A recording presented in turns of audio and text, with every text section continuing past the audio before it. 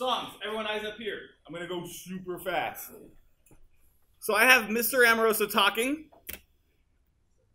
Traffic sucks. Get on a bike, get on a skateboard, help the environment, get off the road. By God. All right. So I got him doing his little tirade. I've already downloaded my song. Again, I'm going to show you where to download songs in a second. So I've downloaded my song here. I'm going to grab this song and I can do one of two things. I can import it into my browser again, or I can just take it and directly feed it into my timeline. So what I'm actually going to do is I'm not going to cue the song up. I'm going to make this look a little bit bigger.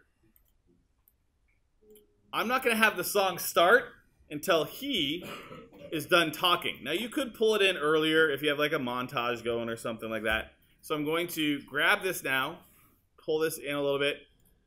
But this always usually has a nice effect that right when he's done talking, and notice I'm using the waveforms of the song. I'm using like the little the waveforms to kind of. So now I get it to go like this. Off the road. By God. A little sooner. So I'm actually going to start the music a little bit while he's still talking. Let's see. Maybe zoom in a little bit more. There's the, that's the beat I want right there when he says, "By God." There we go. Now we got it.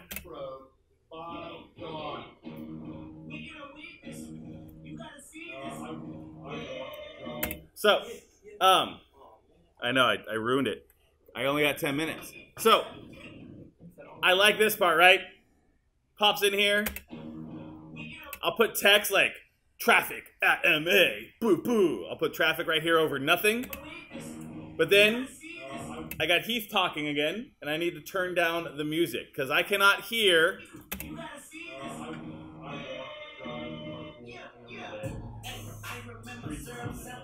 I can't hear him at all, right? So what I got to do is I have to use the the pen tool again. So to remind you about audio, you can use it with songs or just your tracks. I'm going to go to my pen tool here. I'm going to zoom in, and it's at you, you can barely see the line because it's right in the middle. But right here, I'm going to just make one dot, make two dots, and I'm going to pull it way down. Now, if you have an instrumental song, you can leave it a little higher. But if the song's got lyrics, especially rap lyrics, not trying to diss rap, because rap is a lot of talking, and then you have people talking. So then you have two people talking over one another. Like sometimes my advanced students do while I'm talking. Oh, they didn't even hear my insult to them.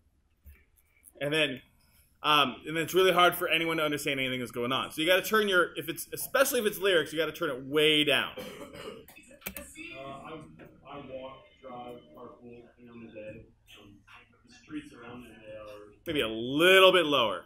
So um, I can go back to my arrow tool, pull it down just a few more notches. maybe a little louder, but you guys get the idea. That tool again is P for pen. You can either press P or you just click on this pen tool. It looks like that. Um, and you can bring up the audio again when it's off track. Now, when you choose your song, choose wisely. We can't have any swear words. So either when you do a YouTube search, you're gonna have to do like clean. If you know the song has swear words, sorry, P. So I'm gonna bring it back up. Like I'm gonna add a montage here after Mr. Frivol talks.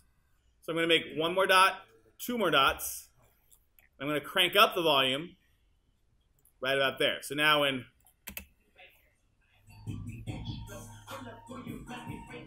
there, and then kind of pull that down again once he starts talking.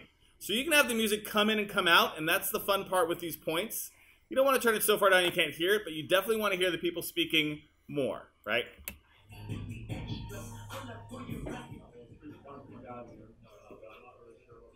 There you go. So the pen tool is what you use.